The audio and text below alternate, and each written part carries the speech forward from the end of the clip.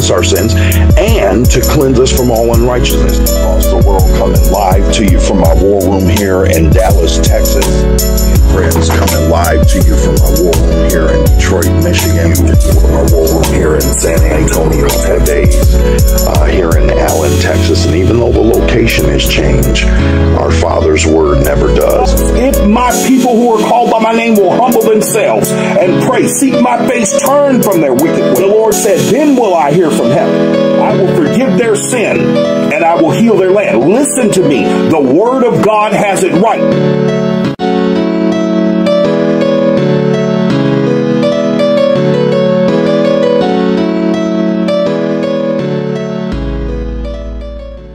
Hey, family and friends all across the world, coming live to you from my war room here in Dallas, Texas, where we just magnify the Spirit of the Lord on this morning for sharing life in Him and sharing his word with you. Listen, I'm just excited to be in the war room, and uh, we just magnify our Heavenly Father on this morning, and certainly to his Son, Jesus Christ, and to the precious Holy Ghost, of which all of us who are believers are sealed.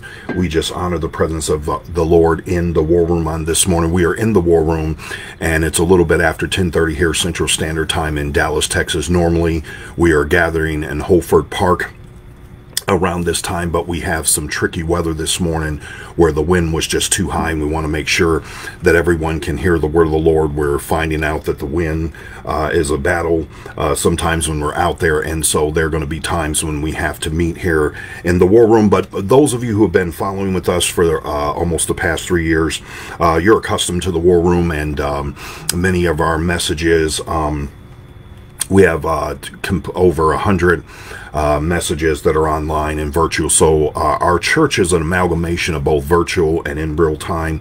And so we're not able to be in real time, we'll be here in the war room, and we do our best to keep everybody. If you tune in, we're we're live shooting even when we're in Holford Park uh, in North Garland, Texas. So uh, if you come on either way at 10:30, you will realize we're either out there or in here. And so we just honor the presence of the Lord. Listen, we're going to get right into the word of the Lord. I want to, we're going to begin at Ezekiel, the 33rd chapter. So if everybody wants to go there, we praise the Lord for our Heavenly Father and certainly to His Son, Jesus Christ, again, to the precious Holy Ghost. The war room has been open in prayer. I'm going to, op- uh, for those of us who are serving here, and uh, we have our First Lady here with us uh, in the war room and we just honor the presence of the Lord for her presence, and she's here assisting on the production side as well as uh, in the Word of the Lord with us. And so we just ma- we magnify the Lord for uh, her presence, and we honor her. Um, for all of those of you that will be coming on, I always do my best to keep us on track. We're gonna, I'm a, I'm listen, I'm a word man. We're gonna go in the word of the Lord. So we just honor the presence of the Lord. Um, it is Sunday, May 29th, and it is the Lord's Day, and we're going in the word of the Lord. So I invite everyone to Ezekiel, the 33rd chapter. I promise you, we're going through about eight scriptures this morning because I'm a word man. I believe in looking at your physical Bible and reading the word of the Lord. I was sharing that with a friend on yesterday that we need to lay our eyes on the word of the Lord. Before we, uh, we're going to open in prayer, and then there's something the Lord's laid in my heart to share, and then we're going to let the Holy Ghost um, do what he does so immaculately and so profoundly and inimitably and abominably. And so um, we just, Pastor Aslam, we just praise the Lord for you. Uh, he's uh, greeting us here all the way from Pakistan. So we just honor and praise the Lord for Pastor Aslam. And we bless the Lord for all of you that are with us and will be coming on, or all of you that will view this video at any uh, time. Many of you have your own worship services, so we understand you won't be able to be with us. But many of you go back later and you view the teaching and you share in this uh, live experience with us. And so we honor the Lord for you. We are on all the platforms. For those of you that don't know, we're on Instagram, two Facebook pages, Ministry and Personal, for those of you that are my personal friends. And also, um, and I try to let everyone in so they can hear the word of the Lord. And um, and also we're on uh, we have our own website obviously www.bishopgacox.org and we're also on uh, YouTube. You just type my name in Bishop Dr. Guy Cox pops right up. And so many of you know that many of you do not. So I just say it's for those of you who don't and who are new to the ministry. Uh, we take the word of the Lord all over the country. We preach all over the world. Virtual allows us to being virtual allows us to do that and so we honor the presence of the Lord. Um, and um, uh, we thank the Lord for uh, Pastor Felix Lady Joy over in um, uh, at uh, Resurrection Temple International Churches, Sokomau and Kenya, Africa. We just bless the Lord and honor the Lord for them, and just many others who have reached out from all over the world and and and um, and are. Uh, laboring in the co-laboring in the gospel with us. And so um, we're going to pray. Dear heavenly father we just bless you on this morning first of all for the privilege and honor to stand in your presence. For it is certain that only he that hath clean hands and a pure heart is going to be able to stand in your holy hill and in your presence and receive the the glory of your presence not just as an intellectual thought but receive the reality of that deep in our spirits and in our hearts as your sons and daughters because it is certain that you have given power power to them who have believed in you and received you.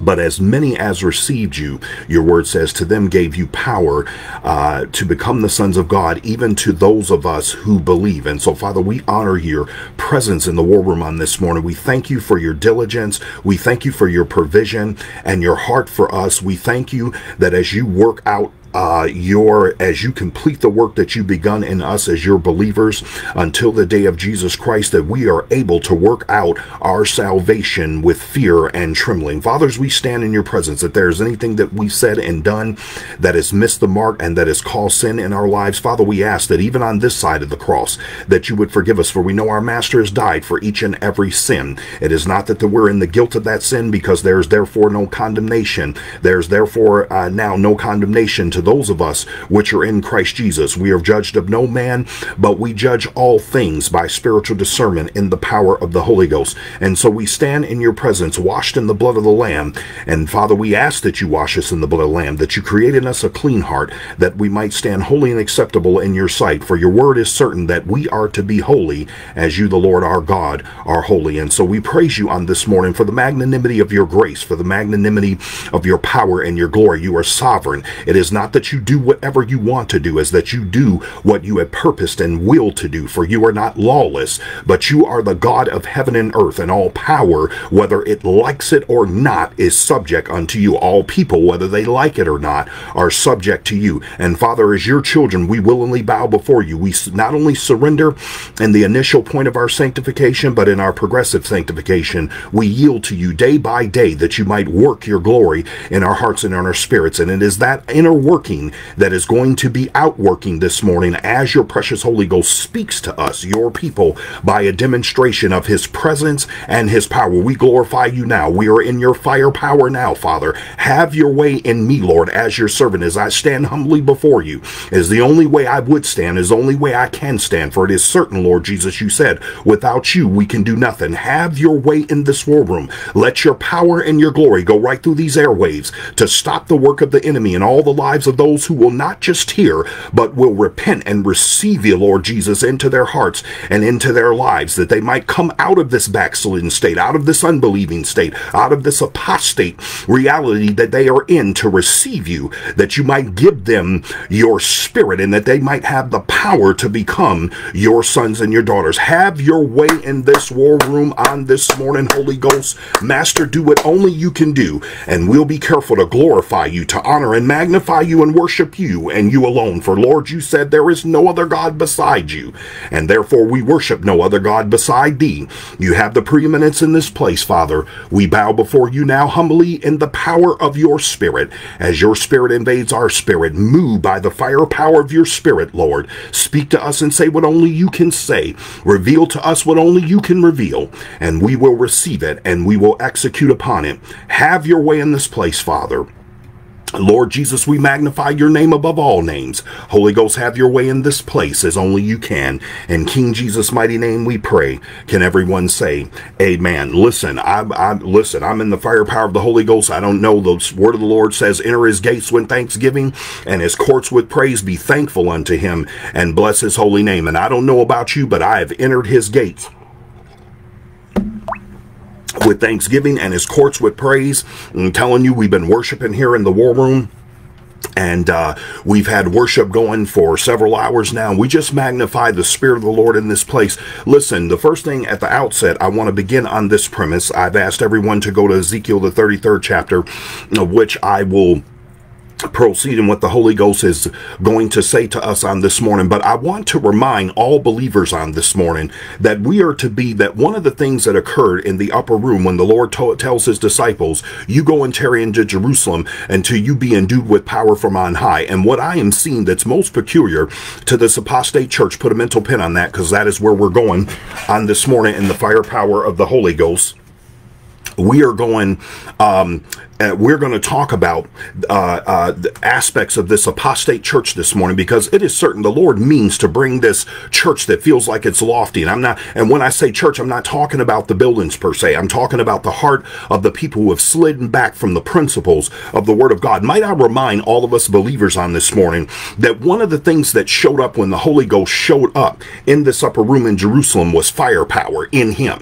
Fire showed up, cloven tongues as of fire. Fire showed up in this upper room. And too uh, far too often in our churches today, what we are seeing, and myself and the missus, we had the uh, privilege and honor to hear Bishop Demetrius Senegal last night preaching many things that I've already preached. And I don't say that to be facetious. I say because we are watchmen, and I'm not the only one. I've said that many a times. I'm not in the spirit of Elijah in that sense where I believe I'm the only one. There are many others, and we had the blessed fortune to hear the Holy Ghost through Bishop Demetrius Senegal right here, based in Houston, Texas. We are in Dallas, Texas, and we just um, and he's uh, preaching out of Ezekiel the 23rd chapter is a tremendous blueprint. Preachers, if you're not there, you need to get a revelation of the Holy Ghost and get it deep down in your spirit. That is the blueprint for our generation. I preached on it many times. Uh, Bishop Demetrius Senegal has the revelation he's preached on. There are many others, but many more need to come into the revelation of where we are because judgment has come upon our nation and the nations of the world more strenuously upon the United States of America. For it is certain, and we have prophesied this before and stated this before, is wherever the gospel has been propagated the most, that's where the Lord will hold that country most responsible. And there's no place that the gospel has been propagated more than in the United States of America. We have called the God of Abraham, Isaac, and Israel, whose son is Jesus Christ, our God in this nation, and then for, since 1970, and in many ways, uh, we were sliding back even before then, but we had the great evangelists like, like, Dr. Billy Graham and many others. I grew up in Detroit where there were great bishops, Ellis Bonner. We could go on and on. Many great worship leaders who have come through there. Detroit is a hub for uh, gospel music and, and, and the gospel world and the preaching of the gospel. Many mighty warriors have lived and died and come through there and gone on to be in the General Assembly and Church of the Firstborn in heaven. And so we just honor the presence of the Lord for such a rich legacy growing up in Detroit and the powerhouse gospel mecca that it was was. And so we're in the firepower of the Holy Ghost, and fire is what showed up in that upper room. And far too often, how we are clear that we have the reality of two churches now the body of Christ in this apostate church. It is the reality of Matthew 25, the five foolish virgins, virgins, and the five wise virgins, is the fact that there's no firepower in this church.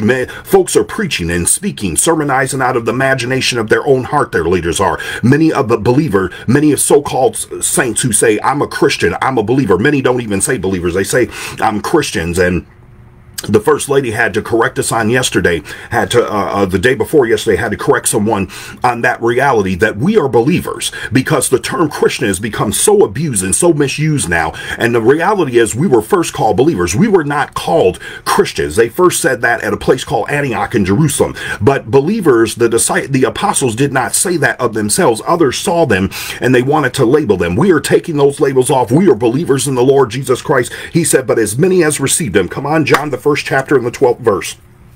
But as many as received them, to them gave he power uh, to become the sons of God, even to what? Those that are called Christians? No, to them that believe. Come on, saints. Somebody, uh, listen, I'm, I'm praying the Holy Ghost is touching somebody else besides me in this war room on this morning. So we need to be mindful, body of Christ, of the firepower of the Holy Ghost. It is what separates us from this apostate church and all other religions, all other believers. We are in a demonstration of the power of the Holy Ghost, of the fire of the Holy Ghost, and in his presence. And his presence is known when his fire shows up in us. Many folks in their carnality want to say, oh, you're passionate about what you're doing. No, baby, this goes deeper than passion. Let me preach to somebody this morning because you don't have a revelation of the Holy Ghost. This goes deeper than passion. This goes deeper than passion. Let me put this in somebody's spirit on this morning. This goes deeper than passion. Because a passion is an emotion that comes from the animistic realm. Don't let the word throw you. It's a theological term to refer to our soul realm, uh, from which our life, our, our vitality and life force uh, comes from. In the Hebrew, it is the word nephesh, and the Lord God blew into the uh, and into man, and he became a living soul. This is the Hebrew word nephesh, a living soul. It is vitality and life force, and so passion derives from there because it gives us will. It is the term libido which we usually refer to in a sexual connotation, but that's not its only connotation, not even its primary connotation. If you have understanding uh, in, in, in in the things of the spirit and the things of higher learning, and so uh, libido refers to the will, will, drive. I I, re I remember learning uh, uh, uh it was Dr. Paul Tillich that talked about will to power. We have this drive that goes to power. You have to have the will in order to do, and then when you have the will in order to do, and this is why the word of the Lord says the Lord accomplishes all things according to what he has purposed and according to the desire of his will, because this is the will that comes from vitality and life force, the animistic realm that drives us into the third part of our psychological state, which is our decision making processes. The term for this is ratiocination and our psychological state. We taught on this before, don't have time to get back in again. Go online. You can get all those videos. Uh, uh, about a year and a half ago, I taught on this. You can go back and get all those teachings and get yourself up to speed. But I need us to understand it is not passion that we have in the Lord. It is the firepower of the Holy Ghost. Passion, you need drive. But see, the firepower of the Holy Ghost, whether you have passion or not, whether you're feeling it or not, as we say, whether I woke up this morning and the Lord was on my mind or not on my mind, whether I, I felt like uh, praising Him or not praising Him, the firepower of the Holy Ghost will bring the Lord into your remembrance, even when we're not thinking about Him, when we're in trying and challenging situations. You need, believer, the fire power of the Holy Ghost. An unbeliever, you need to come and repent and you need to be baptized in the Holy Ghost so you can receive the firepower of the Holy Ghost because it is certain. It is this firepower that even when I don't feel like preaching, and there is sometime I don't, even when you get frustrated at those you're preaching at, uh, uh, uh, uh, to, and even when you get frustrated with your family and you get frustrated with, with life's measures and all of these things, the Holy Ghost will kick in in His presence and His power. And this is why He is the mediator by the Spirit of Christ of the new covenant because you need the mediating power of the Spirit of the Lord Jesus Christ by way of the Holy Ghost. He said, If I don't return to the Father, it is unprofitable for you because the Comforter can't come. And it is when the Comforter comes that He mediates every situation. King David said, Yea, though I walk through the valley of the shadow of death, I will fear no evil. Why? Because I noticed He said, I'm coming through the valley of the shadow of death. He didn't get stuck in it like many in this apostate church and many of you unbelievers. And I bless the Lord this morning that we as believers, yeah, we go through things just like everybody else, and many things we don't go through like everybody else because there is a purpose that we serve the Lord. There is an anointing and a blessing that falls upon us that things that happen to the wicked don't happen to us a lot of times because we are in the firepower of the Holy Ghost and He has promised to protect us. He said, Only with your eyes shall you behold and see the reward of the wicked. Why? King David tells us by revelation, because you have made Elohim, you have made El Elyon, the Most High God, your habitation. Therefore, therefore shall no evil befall you, nor any plague like this COVID 19 plague, and like the one on January 6th, and like the one on February 23rd, and this coming this 2023, January 1st to March 31st, a fourth plague will ensue in the United States of America, in the United States of America, and the world over.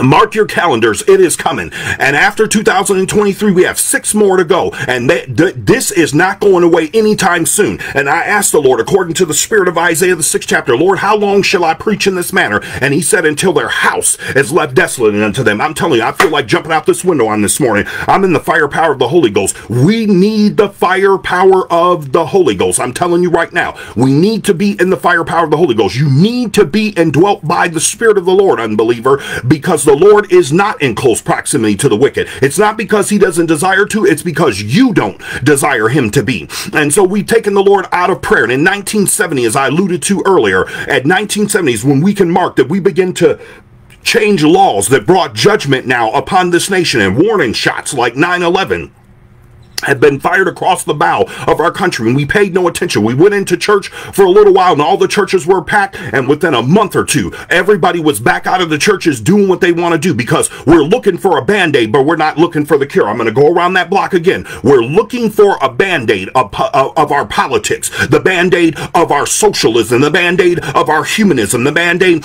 of our materialism, the band-aid of our enlightenment, uh, uh, in our, our uh, enlightenment. We're looking for all of these band-aids, but we're not looking for the cure and the answer, which is the firepower of the Holy Ghost in accepting the Lord Jesus Christ. For the word of the Lord says in Acts the fourth chapter, neither is there salvation in any other, for there is no other name under heaven given amongst men whereby we must be saved. I want to counsel us to the firepower of the Holy Ghost on this morning. I want to remind all of us believers who have the Holy Ghost, not to be distracted by the cares of this life and, and, and the rudiments of this world and its vain tradition and its teaching. Our fear is not taught to us by the rudiments of men, by the traditions of men.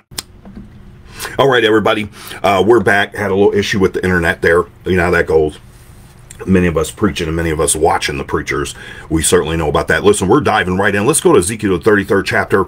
Just want to remind all of us in the body of Christ uh, concerning the firepower of the Holy Ghost. You know, folks are talking about, oh, you guys are so passionate. It's not passionate. It goes beyond that because we will give the word of the Lord we are led by the Spirit of Lord each and every day. We are out here talking to people uh, and, and, and, and about their relationship with the Lord Jesus Christ. And you don't do that by passion. And I'm not saying that passion isn't a part of this. What I'm saying is we're not led by a, pa- uh, by passion. We're not led by emotion. Myself and the First Lady had a lunch date yesterday after um, a meeting that we had. And um, we are talking about the Word all the time. And that is one of the things we're talking about is, is what we need to teach the men and women uh, that, that are a part of uh, Cox Community Church of Dallas, Texas. We, we're, we're going to really get into teaching the men and the women individually about the difference between being led by emotions and being led by the Spirit of the Lord. It is so critical because it is the why we have the reality of two churches because many are being led by their logic, they're being led by their emotions, they're being led by other people's word, but they're not being led by the Spirit of the Lord and the word of the Lord. And that's the difference. We're not doing this because we're not led by passion. We're not led by uh, intellect. We're not led by ratiocination and our pride. We're not led by all these things. We're led by the Spirit of the Lord. We're not led by uh, led by uh, religious asceticism and all these things. We are led by the firepower of the Holy Ghost indwelling us. And that's why we have the boldness to preach to a nation and to the nations of the world and to the global community. We have the boldness to preach to you exactly what the heart of the Father is in our generation. It is not houses, cars, and land and jumping around for blessings. Uh, we got many pro prophets prostituting their gift and the gift that the Lord has given them want to prophesy smooth things to you. And the people are saying, tell us, uh, don't tell us what's right. Don't tell us what's holy. Don't tell us what the Lord is saying. Come on Isaiah, the 29 29th and the 30th chapter. They want they want prophesy to us deceits, they told the prophet Isaiah.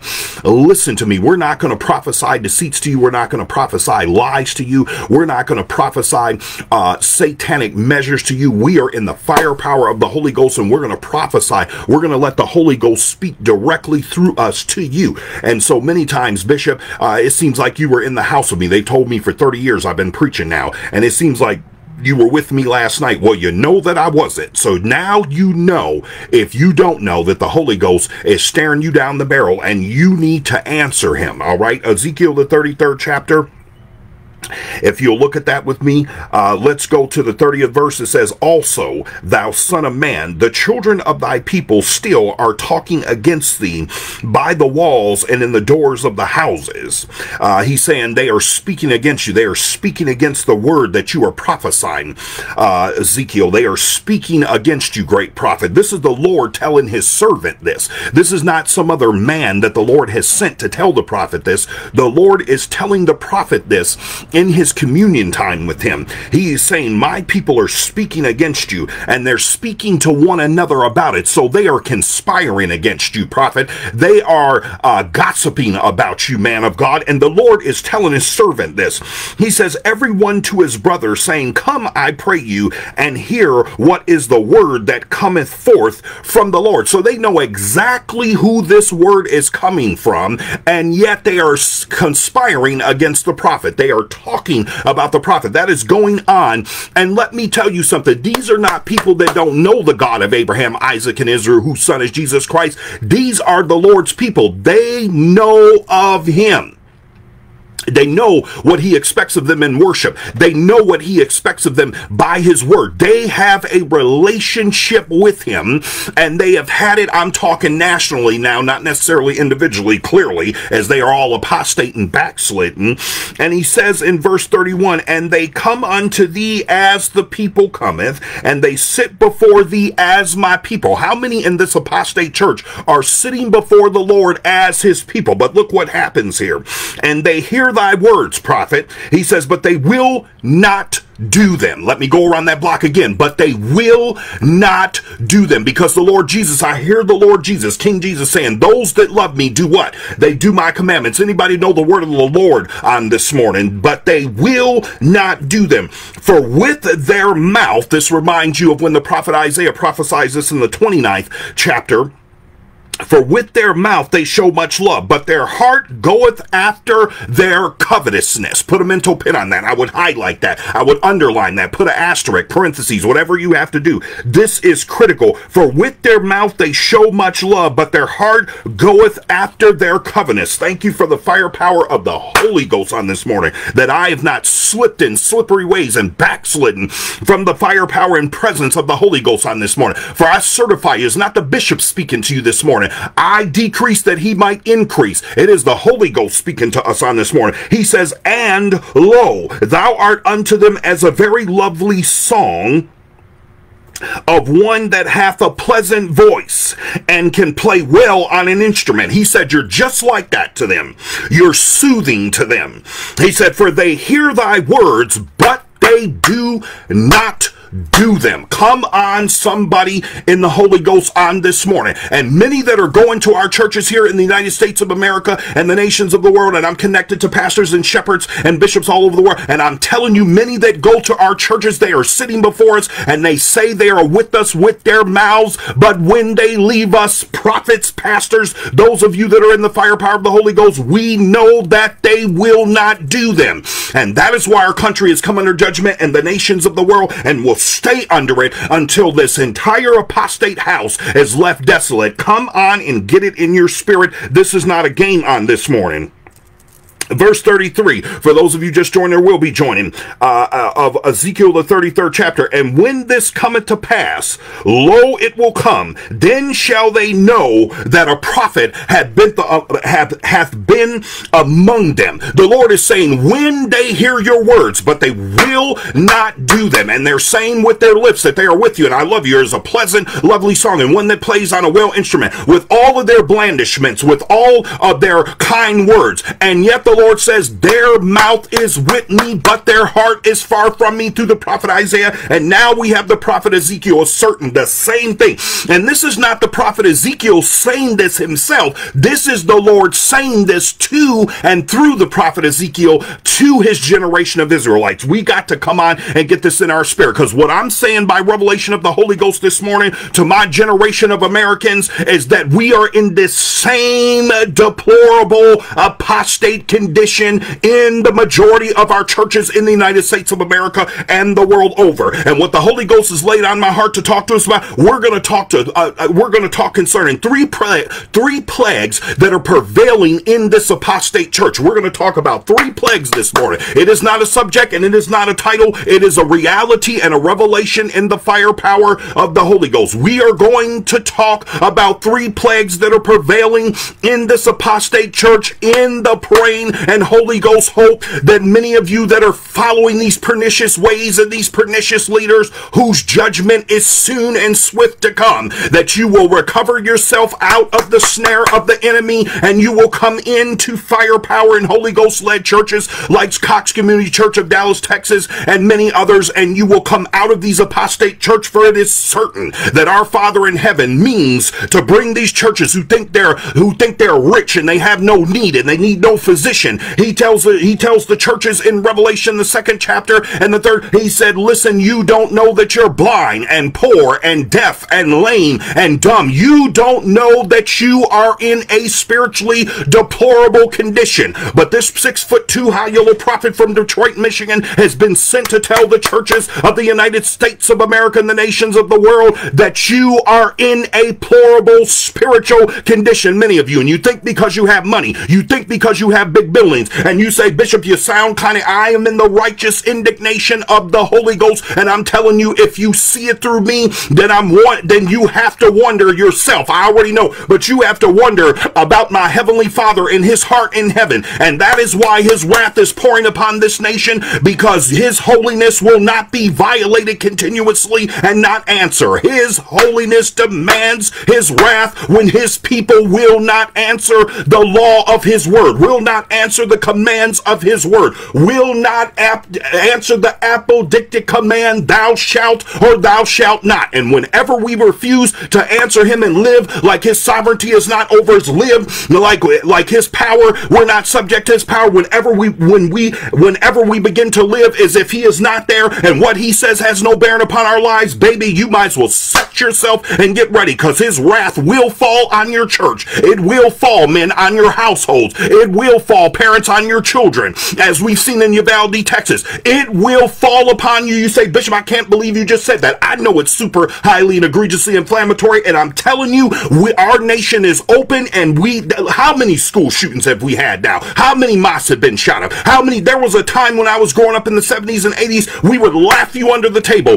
I told one of my clients the other day, if you even suggested that they would be shooting up our churches and shooting up our schools and shooting up. But let me tell you something. When we as a nation go back from King Jesus and the way of his kingdom, and we refuse to answer the God of Abraham, Isaac, and Israel, whose son is Jesus Christ, and make him Lord of our nation and Lord of our communities and Lord of our individual lives, we are leaving ourselves open for these type of attacks. We are leaving ourselves open unto demonic forces. It is not the Lord that does this evil. For the apostle James certifies us by revelation. I do not do evil to man, the Lord says I can't even be tempted with it. It is not the Lord that caused the shooting in Uvalde, uh, Uvalde Texas, and other shootings that we've had uh, in Buffalo, New York, and all of these other places. And I ministered in New York and pastored for 23 years. And I'm telling you, it is not the Lord that is doing this evil to his people. But when we refuse his help, when we refuse his word, when we refuse the hand of his protection, when we act and we live as if he does not matter, he cannot do anything for us because we he in order if if he did something for us, he'd be overriding our will. And what many of us want, we wanna we wanna put him on the shelf as a genie in a bottle. Lord, just do for me when I eh, listen. If he allows that, then he's serving you and not the other way around. And the word of the Lord is clear. We have not been placed there for the Lord to serve us. We have been placed there to serve Him. According to Romans the 12th chapter in the first verse, to present our bodies a living sacrifice, holy and acceptable unto the Lord which is our reasonable service. And you want to blame the police, and you want to blame this, and you want to blame that, and you want to blame the teachers, and you want to blame the HOA, and you want to blame uh, this God and that God, and you want to blame God, and you want to blame His Son, and you want to blame His Spirit, and you want to blame. Everybody wants to blame, but you don't want to take accountability. Those of you that are lost, unbelieving, outside of the commonwealth of the faith, who are not in the firepower of the Holy Ghost, who have not been baptized in the Holy Ghost, who have not accepted Jesus Christ as your Lord and Savior. You want to blame everybody, but you will want to take account for your own sin. You don't want to take account for your own waywardness. You don't want to take account for your extreme and egregious non-proximity to the God that you're asking to save you and to protect you. You don't want a relationship with him, but you want his blessing. You don't want his heart, unbeliever, uh, apostate, uh, uh, uh, uh backslider. You don't want his heart, but you want his hand, and that's never going to happen. I'm here to tell you as a prophet and servant of the Lord, that is never going to happen. The only you're going to start receiving his hand when you first start receiving his heart. Bishop, how do you know that? I know that because I can read when the Lord Jesus said, Seek ye first the kingdom of God and his righteousness. Conjunctive word, and his righteousness. That means proximity and right standing in relationship with him. You got to come into close proximity with him. The apostle Paul told the Athenians when he was preaching unto them, he said, as one of your own poets have said, in him we live and move and have our being. Until United States of America, we get in him, live and move and have our being. We are going to continue to be plagued by these type of massacres occurs in incidents, and you say, Bishop, it's not always good. It is going to always be like this until we get in the kingdom of the Lord by repenting and accepting His Son and being baptized in the Holy Ghost. This is a strong word on this morning. This is not for the faint of heart. That's why most of the time we're on here preaching with very few, and folks will come on and go off because you are not ready, United States of America and the nations of the world, for this kind of potent and powerful and profound word yet. You are not ready to hear the truth. You don't want to hear the truth. If I was preaching about housing, cars, and land and how the Lord's going to bless your little spirit and bless your little kids, let me tell you something. I'd be lying because Jeremiah, the 23rd chapter, the Lord says through the prophet Jeremiah, How are these false prophets going to preach to a people that despise me, saying blessing and peace, where there is no blessing and peace? The Lord Jesus, I hear him saying, I didn't come to send peace on earth, but a sword. It is non negotiable, it is a tenable argument. There is no argument here here. You cannot defend yourself against, there is no argument against the word of the Lord. And you can sit up there and be mad and cuss and scream and say whatever you want to say. These horses, these footmen are now turned into horses and chariots, and they are riding upon our nation, the nation of the world. Them four mighty spirits of the apocalypse are riding on our nations and the nation of the world. And you, mere human mortals, you have no power over this. You are subject to it, whether you want to be or not. It doesn't matter. From the king to the the farmer from the front door to the back door, from the White House to the State House to the local house to the church house to your house to the outhouse. All nations, all mere mortals are subject to the power of the sovereign God of Abraham, Isaac, and Israel, whose son is Jesus Christ. We are going to talk about three plagues prevailing in the apostate church on this morning. Listen to me. If we have any hope in this world, it is the body of Christ that is our hope in this world. Listen, we have got to get this in our spirit. If we have any hope in this world, listen to me carefully, apostate. Listen to me carefully, unbeliever. Listen to me carefully, backslider. If you have any hope in this world, and body of Christ, please hear me and be reminded carefully. If this world has any hope, we have to do according to Isaiah the 58th chapter in the first verse. We have to cry loud and spare not. We have to lift up our voice like a trumpet. We have to lift up our voices like trumpets, like a trumpet, and we have to we and we have to show America its sin, and we have to show the nations of the world their transgression if they have any hope. Bishop, you are mighty confident in this on this morning. You would be absolutely right because I'm in the firepower of the Holy Ghost. If this world has any hope, it is not in Muhammad. It is not in Hare Krishna. It is not in Joe Biden, it is not in Donald Trump. It is not in any past, present, uh, or future president. It is not any past past, present, or future spirit, king, queen, uh, uh, uh, uh icon, idol, uh, uh, personality. It is in none of that. If we have any hope, it is only going to be in Christ Jesus because the word of the Lord is true when it says they are going to look upon them whom they have pierced and they are going to be mournful. Come on and get it in your spirit.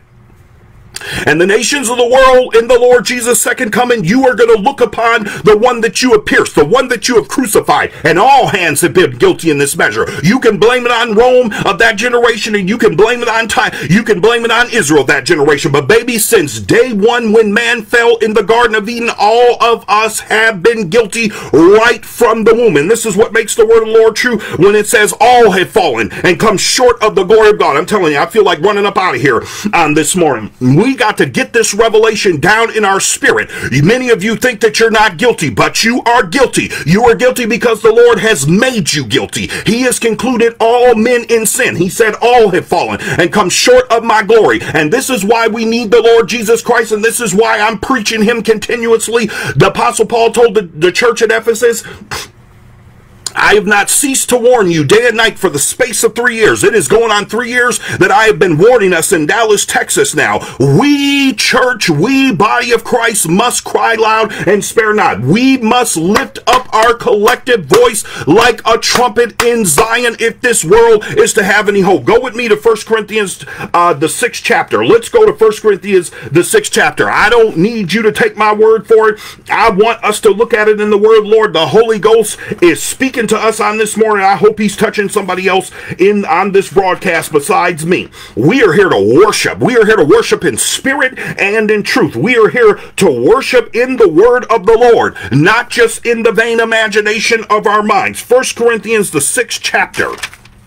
We are going to read the first eight verses, and I want us to pay careful attention and forensically to the wording here. He says, we're beginning uh, First Corinthians 6 chapter in the first verse. Dare any of you, having a matter against another, go to law before the unjust and not before the saints? Listen to what the apostle is saying here. Do ye not know that the saints shall judge the world? So all of you sitting there talking about, you know, you judging me and this is that. The saints are going to judge the world in the firepower of the Holy Ghost, in the discernment and spiritual intelligence of the Holy Ghost, we are telling you what's acceptable to the Lord and what's not and what's not acceptable to the Lord. All of you pro-abortionists and all of you pro-gay community conspirators and all of you that sympathize, put a middle pin on that. We're going to talk about sympathizing this morning.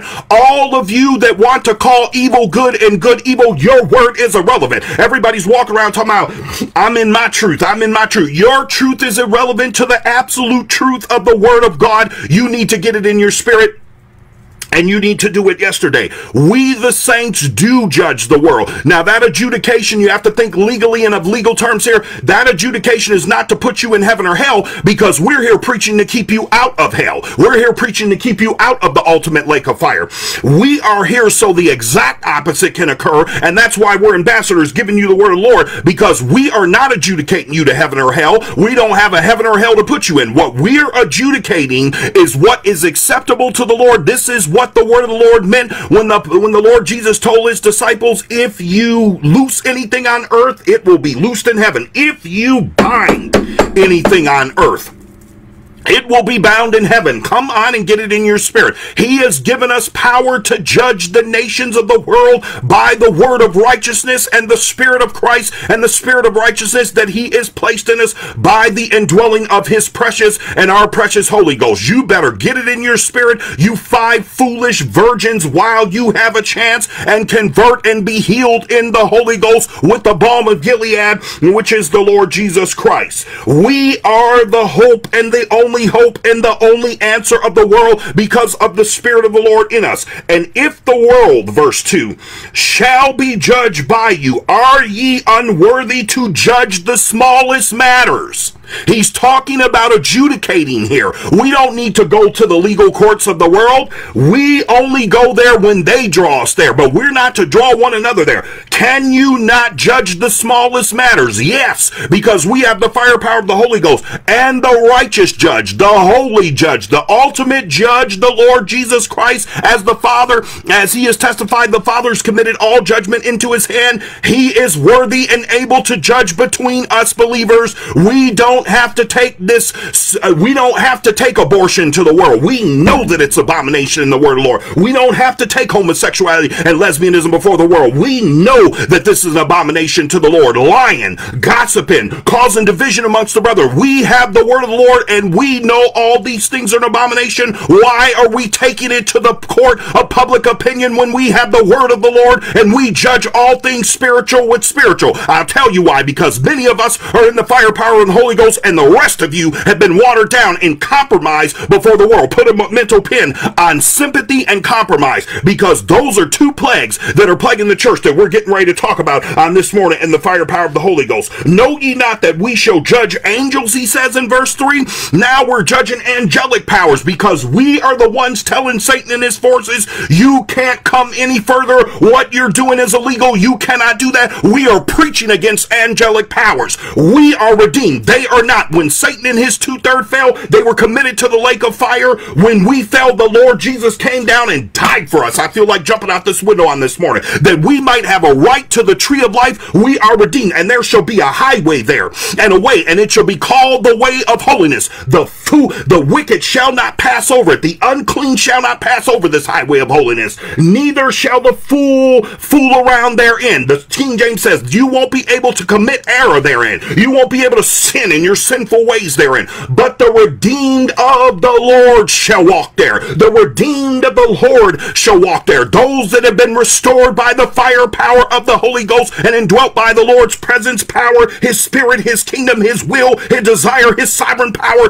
His way. We are the ones that are going to be in the highway of holiness and no one else. He says, How much more things that pertain to this life? We are the hope and the answer to this world, the body of Christ, because we serve the Lord Jesus Christ and we are indwelt by his spirit. Come on and get it in your spirit on this morning. I hope the Holy Ghost is touching somebody in this war room besides me on this morning. If then ye have judgment of things pertaining to this life, set them to judge who are least esteemed in the church. I speak this to your shame, the apostle says.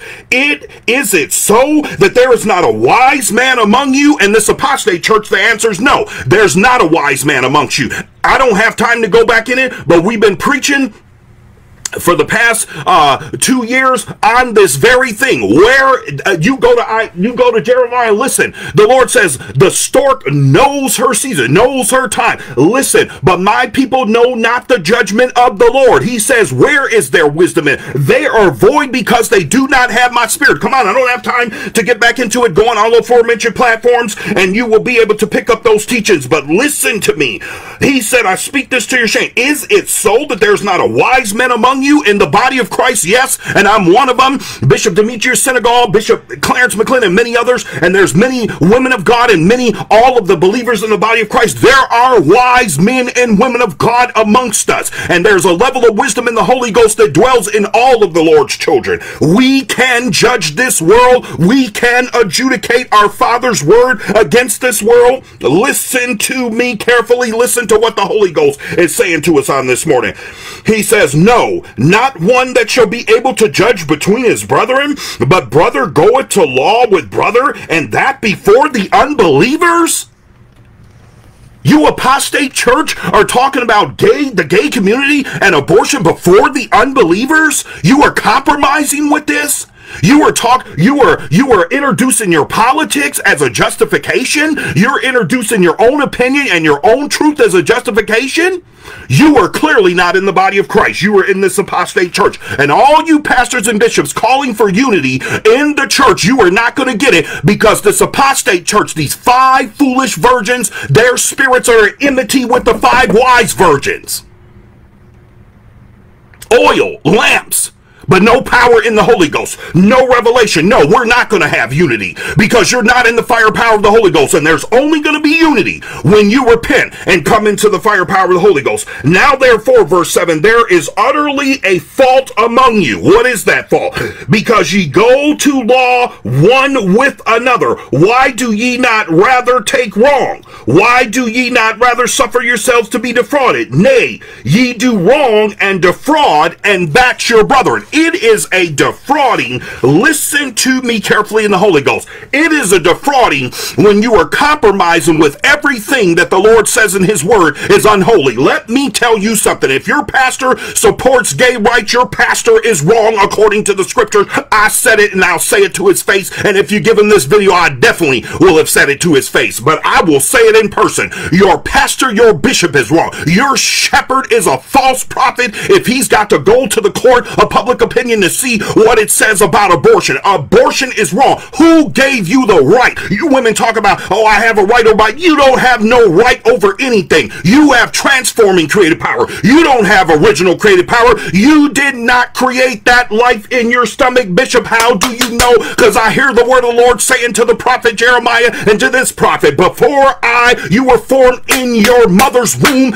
I knew you. And it is that knowing that makes that life belong in the hands of the Lord. I'm telling, I'm trying to calm my little spirit down in here, but the firepower of the Holy Ghost is raging in my spirit. How dare you sit up there talking about you have a right over this life? The Lord knew these babies before they he placed them in your womb, and He's the one that placed them. You did not, woman. You have no right. You have no right but to surrender your life to the Lord and submit to the Lord Jesus Christ and to do with that holy and sanctified life what He has called you to do. You better get a revelation in Sister Hannah who's sitting before the Lord, and here comes the priest supposing she's drunk, but she's crying out because her her this other her husband's other wife can have all these children, she can have none. See, some of you because you may you can have babies so but what if the Lord shut up your barren womb? I have sister friends in the Lord, they could not have babies, and they labored and prayed all night, night long, like Sister Hannah. And finally, the Lord opened up their womb and gave them a child. You go ask them, do you have a right to terminate that life? They will go up one side of you and down the other, because, baby, they prayed all night long. I think what the Lord needs to do in our generation is shut all your wounds up so you can't have any babies. And maybe when you can't have any, and all of a sudden you realize you can't build a family structure, maybe many of you, when you're that desolate, will get desperate enough to get down on your face in the fire power of the Holy Ghost, surrender and yield your life to the Lord Jesus, and then He'll bless you with that gift when you learn that it belongs to Him. The problem with pro abortionists is the life does not belong to you, it does not belong to the judges, and it does not belong to the court of public opinion. Yeah, I'm telling you, I feel like preaching in here on this morning, and I am not going to sit the preacher on the bench because I'm sick and tired of you all taking this in the public court of opinion and calling yourself the church of the Lord Jesus Christ. You are a den of vipers and thieves in this generation, especially you leaders.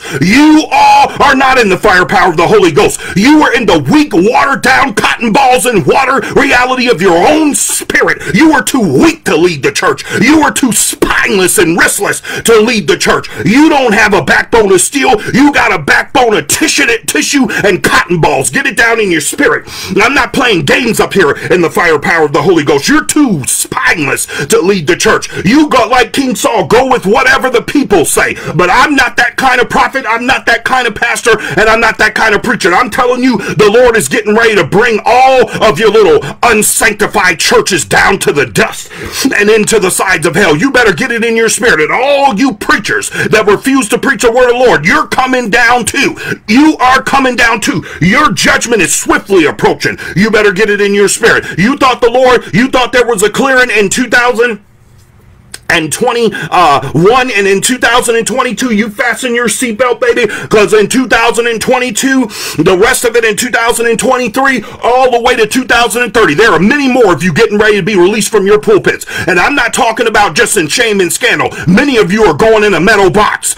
Get your eulogies prepared all of you that are left behind because the dead baby are getting ready to bury the dead. I'm telling you i'm in the firepower and revelation on the Holy Ghost this morning. So the first thing uh, that the Holy Ghost has laid on my heart, listen to me. Covetous inevitably leads to compromise. I told you to put a middle pin on compromise. Many of you, listen to me. Your covetousness, listen to what the prophet says. He said, for with their mouth, verse 31 of Ezekiel the 33rd chapter, for with their mouth they show much love, but their heart goeth after their covetous. This is greedy gain. This is gain. Many of you, you don't preach what the Holy Ghost is telling you to preach because you know they will stop giving to your church. So what? I'd rather please the Lord. We don't even have a building right now, and I'm not even sweating it at all. Matter of fact, I don't want a church full of apostate people. That's why we're choosing not to get a building until I'm certain I got those that are and the firepower of the Holy Ghost sitting before me, then we'll think about getting a building. But I am not going to get a building and pay bills for people whose mouths are with the Lord, but their heart is far from Him, who say that their mouth is with Him, but you have no intention of doing what He's telling you to do because you're going after your greedy gain. And this covetousness, this seeking after gain, inevitably, inevitably leads the church to compromise.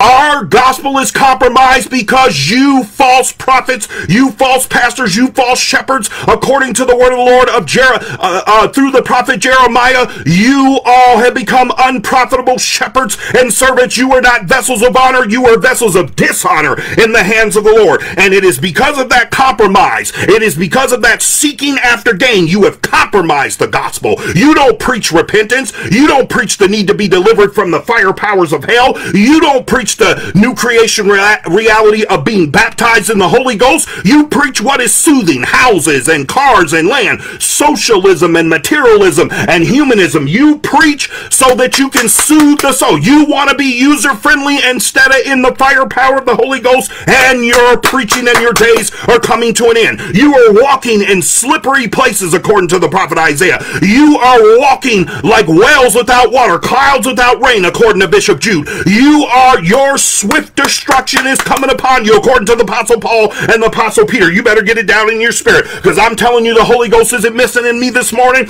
I certify you, I'm not missing him on this morning. Listen to me compromise forsakes the anointing. This is the danger of it. It forsakes the anointing. It casts the anointing off as an old raggedy garment. That is what many of you are doing in this apostate church you leaders. You are casting the anointing off because you're compromised. You're casting it off like a filthy rag and a filthy garment. But the lord's anointing is not a filthy garment and a filthy rag. That is not scriptural but i tell you what is scriptural. Your righteousness is like filthy filthy rags before the Lord. The truth of your righteousness, you fake leaders, you apostate leaders, your righteousness before the Lord, what you're preaching, what you're teaching, what you're teaching your congregations and suggesting them, and even your manner of living is like filthy rags. The Greek image there is of a woman's menstrual rag. Now translate that again. Your righteousness is as filthy as a woman's menstrual rags. Bishop, you're kind of bold this morning. I know, because I'm in the firepower of the Holy Ghost, and I know you apostates and you unbelievers don't understand it. But that's okay. Long as me and the Holy Ghost do, that's all that matters. You'll get the revelation after a while, or you'll end up in the lake of fire, and this is certain. When you compromise, when you're seeking after gain, you are going to spiritually compromise. All of you that say that you're Christians, all of you, because you are certainly not believers.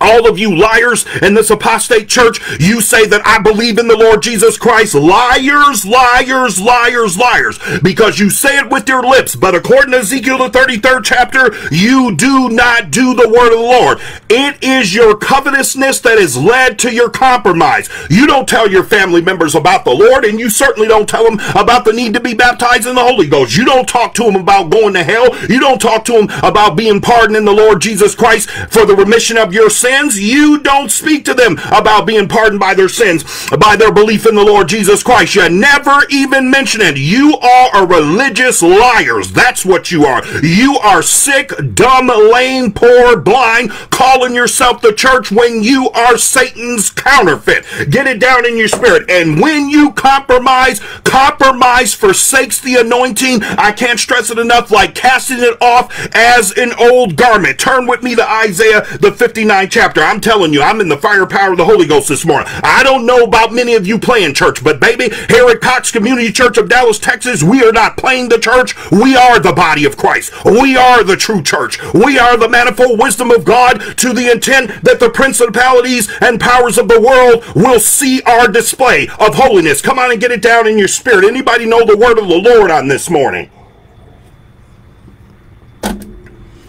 Listen to what the Holy Ghost is saying to us on this morning. Isaiah the 59th chapter. All you got to do is back up a few books. Isaiah, the 59th chapter. Let's see what the Lord is saying to the prophet Isaiah. We're going to read the first and the second verse there. He said, Behold, the Lord's hand is not shortened that it cannot save. That's for all of you apostates, unbelievers especially, and backslidden ones. The Lord can save you. You are not too dirty for him to save you. You are not too far gone for him to save you. Matter of fact, the only unforgivable sin is blasphemy against the Holy Ghost, of which the scribes, Pharisees, and Sadducees of Jesus of King Jesus' day were guilty.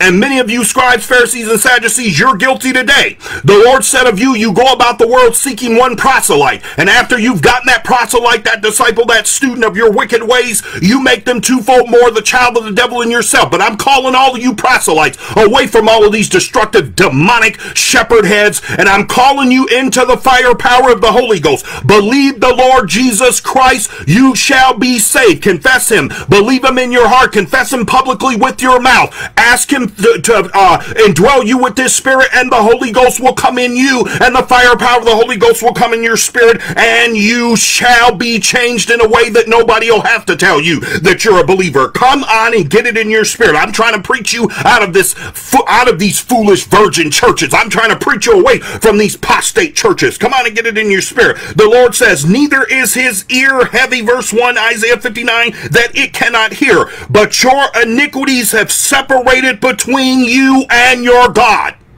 Mm-hmm. I'm going to pause right there and let that sink deep down in our spirits. But your iniquities, your sin, your wickedness, you know that you won't repent for because your preachers won't tell you to repent. Your iniquities have separated between you and your God. So all of you talking about we're all the Lord's children, stop that foolish satanic lie. We are not all the Lord's children, only those that do his commandments and are led by his spirit and receive his correction as his chastisement as you hear coming through me now by the power of the Holy Ghost. He said, if you don't, if you despise my chastening, you are bastards and you are not my sons and daughters. You are illegitimate children. I can't stress it enough. Bishop, where'd you get that from? It's in your Bible and I'm not going to do your reading for you. You study to show yourself approved unto God, a workman that needed not be ashamed, rightly dividing the word of truth. I am not going to do your work for you. And that's why you like these apostate churches, because you can go in there and be entertained and they got all the worship lyrics on the screen for you and they got all the word on the screen for you. You don't have to read your Bibles. Many of you walk into these apostate churches with no Bible in your hand. Oh, Bishop, I got the Bible on my phone. You don't read that because I don't see it in you,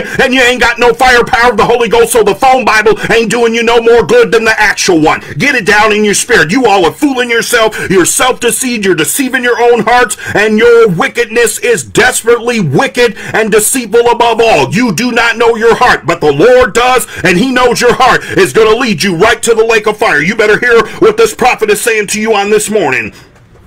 He says, and conjunctive word, your sins, verse 2, have hid his face from you that he will not hear. Your sins have hid his face from you, unbeliever, apostate, backslider, he will not hear. He will not hear your prayer. He will not answer your prayer. Your sins have separated you from your God, and your sins have hid his face, which is his power and his presence, his revelation and his wisdom. And this brings to pass the word of the Lord iterated through the prophet Isaiah, the Lord Jesus Christ, and the apostle Paul. You, they have eyes that see but do not perceive. They have ears that hear but do not understand. Do you hear what the Lord is saying? But your iniquities have separated between you and I. I have hid my face from you because of your sins. This is why our schools can be shut up. This is why our synagogues can be shut. This is why our my first of all these synagogues and mosques, these mosques shouldn't even exist exist in all these places of idol worship and all these temples of satanic measures and, and the spirit of Antichrist. All of this stuff shouldn't exist in the United States of America. We shouldn't have one mosque here. We have it because you all have compromised the word of God. The only thing that should exist in the United States of America is the church of the Lord Jesus Christ. There should not, listen, we can have synagogues here because our Israelite brothers are coming to the Lord. Outside of that, the only other houses of worship that should be here should be in the firepower of the Holy Ghost. But the reason we have mosques, the reason we have masjids, the reason we have all of these temples and all of these false gods of every ethnicity all over the world is because, like King Solomon, we have left the purity of the God of Abraham, Isaac, and Israel, whose son is Jesus Christ, and we have come into the satanic spirit of Antichrist that everything goes and we can reach God by all different measures. The Lord Jesus Christ, I hear him saying, saying, No, I am the way, the truth, and the life. No man can come to the Father but by me. I'm telling you, I feel like preaching in here. I'm trying to behave my little spirit in the Holy Ghost, but I'm telling you, his firepower is burning too hot in me on this morning, and I will not compromise the gospel. I don't care what y'all do to me or say about me. You're already talking about me anyway. Go ahead and talk, baby, because you won't be talking when you hit the lake of fire. You will be completely silent, and the only voice you'll hear is the voices screaming in torment next to yours and above yours. Come on and get it in your spirit. Listen to me carefully. Let's go to Jeremiah, the fifth chapter. Go one more book over from Isaiah. Jeremiah, the fifth chapter. Come on, we're going to get these blueprints in the Holy Ghost on this morning. Jeremiah, the fifth chapter. Come on and let's get these blueprints in our spirit, believers. Come on, we got to be armed in the firepower of the Holy Ghost. Jeremiah, the fifth chapter, we're going to read the 20th to the 25th verse. Listen forensically. Declare this in the house of Jacob and publish it in Judah, saying, Hear now this, O foolish people. Mm-hmm. Jeremiah is talking to the Israelites. I'm talking to the Americans. Hear now this, O foolish people, and without understanding, which have eyes and see not, which have ears and hear not. And he's not talking physically here. He's talking spiritually. In other words, your eyes see, but they don't perceive. Your ears hear, but there's no understanding. That's what he's referring to here. Now, what does he want you to hear? Fear ye not me? Question mark. America, we don't fear the Lord. That's what we're saying to him. We don't fear him. You don't fear the Lord. Fear ye not me, question mark, saith the Lord. Will ye not tremble at my presence? First Lady, we were talking about that yesterday in our date night. Uh, uh, will ye not tremble at my presence, which have placed the sand for the bound of the sea by a perpetual decree? You know what he's reminding us of? His, un, his inimitable and indomitable power. You won't fear me. You won't tremble at my presence. The one who placed the, listen, he says, which have placed the sand for the bound of the sea by a perpetual decree. That means a decree that never ends. Come on and get it in your spirit that it cannot pass it, even though it might want to, and though the waters thereof toss themselves. Yet can they not prevail, though they roar, yet can they not pass over it. The Lord's reminding us of his sovereign power here through the prophet. But this people hath a revolting and a rebellious heart that they are revolted and gone. Not just revolted, but you have taken off apostates from the principles of holiness in the word of the Lord. You have built your churches upon the foundation of compromise. Come on and get it in your spirit. You have built your lives on the foundation of compromise. If the president says it, it's good enough for me. If my mom and my daddy said it, it's good enough for me. When the Lord Jesus said you have to hate your mother, father, sister, brother, that means your politician. He says your spouse. He says even your own life if you're going to be my disciple. But you all don't live by that and you say you're believers. You're not believers, you're liars. Let me tell you what the scripture says according to First John in the second chapter. You all, uh, I mean, First John, uh, the first chapter, you all are a bunch of liars. You are revolted and you are gone. Please hear the Holy Ghost on this morning. Neither say they in their heart, Let us now fear the Lord our God, even though your schools are getting shot up, even though the White House has been overran, even though it has been assaulted, even though February 23, uh, Russia invaded Ukraine, and we're hearing wars and rumors of wars according to Matthew the 24th chapter. Even though we our schools are being shot up and our supermar- supermarkets are being shot up. Yet, Americans we will not fear the word of the Lord. We will not fear the presence of the Lord. We will not fear and tremble at the power of the Lord. We will not reverence him in our White House, our State House, our church house, our local house. We got demonic pastors coming up there now praying to these false gods and idol gods of Shiva and the gods of death. We got them being hung in New York City on our buildings. We got all of this satanic power going on and you wonder why your schools are being shot up. I'll tell you why your schools are being shot up. Because you won't tremble at the God of Abraham, Isaac, and Israel, whose son is Jesus Christ. Get it down in your spirit and do it yesterday. I'm not joking around here, and neither is the Holy Ghost, and you better get it down in your spirit. Neither say they in their heart, Let us now fear the Lord our God. Verse 24 of Jeremiah, the fifth chapter, that giveth rain, both the former and latter, in his season.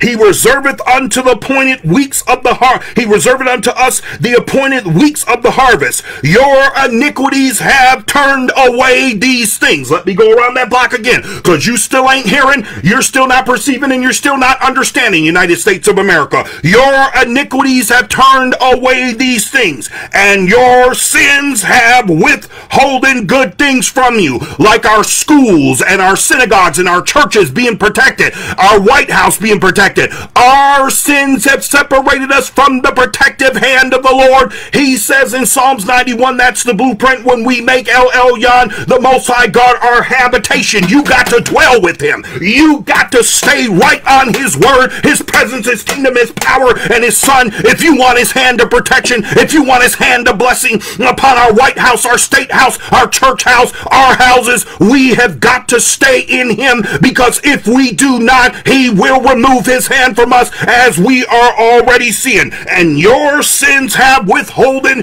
good things from you. It is this first plague of compromise that has come in, that has come over our churches and over our nation that is withholding the blessing of the Lord's the blessing of the Lord from us. Get it down in your spirit and you need to do it as soon, I mean like yesterday, apostate church. You need to do it President Biden, President Kamala, Vice President Kamala Harris, Senate, Congress, White House, House of Representatives, GOP, right wing, left wing, right hand, left hand. I don't care and I'm not saying this disrespectfully, but you got to subject yourself in the fear of the Lord if you want his presence and his power to return to our nation and it will not. I'm prophetically uttering in the firepower of the Holy Ghost now. His presence and his power will not come upon our nation again until we subjugate ourselves in reverential fear and trembling before the God of Abraham, Isaac, and Israel, who said is Jesus Christ. I'm telling you, I'm preaching in this war room better than you all are getting the revelation and saying amen, but I'm going to preach anyhow. The next plague that's, uh,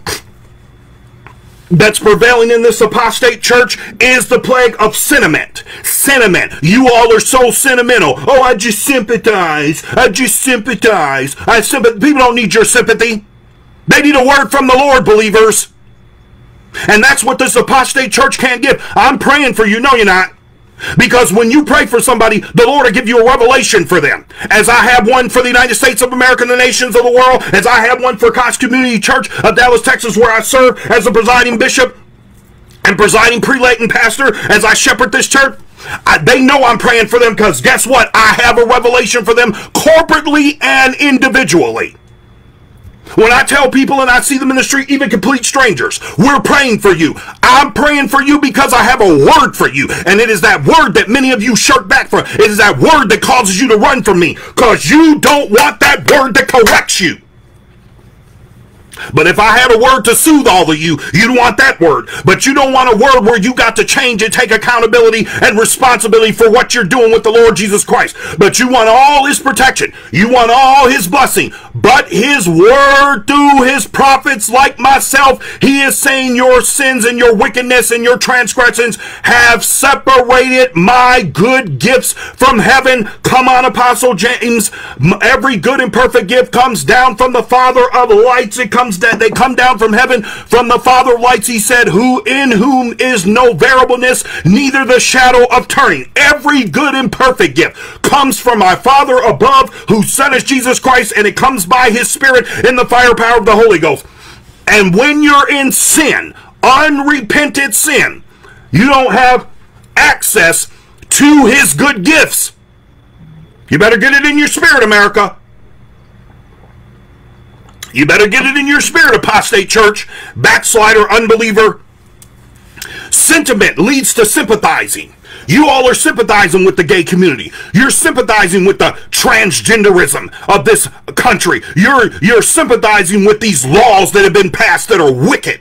Salts on one man and one woman being the constitution of marriage. Now we want two men together and two women together. I don't care how much you put this in this country. I don't even care if you make it law. Let me tell you something. The only thing you're going to do is cause the wrath of the Lord to pour more upon this nation because America, the cup of your iniquity is full and the Lord is answering it by his wrath, and he doesn't care what you think or feel about it. You better pick up Psalms 2. You all are conspiring against the Lord, against our Father in heaven and the Lord Jesus Christ, and he is sitting there, according to Psalms 2, laughing at you in derision. He is laughing at the kings of this earth. He is laughing at the at the political and corporate powers of the earth. He is laughing at you in derision, and he is warning you: kiss the Son, come into right relationship with the Son, lest ye lest he be angry and you perish from the way. You, all of you that say you're you're Christians, you better pick up your Bible. All of you in this apostate church, Read Psalms 2. Give it to your local leaders. Give it to your state leaders of all fields, of all men. Give it to your White House representatives. Give it to the President of the United States. I'm Catholic. I read the Bible, but I don't care, President Biden. You don't have any Holy Ghost, sir. Neither do you, Kamala Harris. And until we get leaders that are in the firepower of the Holy Ghost, or will at least in reverential fear make themselves subject to the prophetic powers, this nation will continue on its course of destruction and its course of plagues. Get it in your spirit. And there is no name under heaven that's going to save the United States of America but the name of Jesus. And this is why I stated earlier in the presence and power of the Holy Ghost believers, we are the hope and the answer to the world. What is being seen in us, the Spirit of the Lord Jesus Christ in his unadulterated word, non watered down, non filtered, straight with no chaser, firepower, presence of the Holy Ghost word is what is going to save this world. Come on and get it in your your spirit and do it yesterday. I know I'm preaching better than you all got an amen in your spirit, but I'm going to preach on anyhow. Sentiment is the second plague. Compromise is the first plague. Sentiment leading to sympathy. Oh, I just sympathize. You know what this forsakes? Surrendering.